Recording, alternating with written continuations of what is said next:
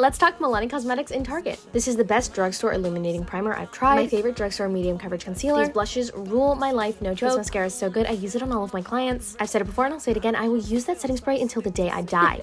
and these lip glosses are super pretty and the balms smell great.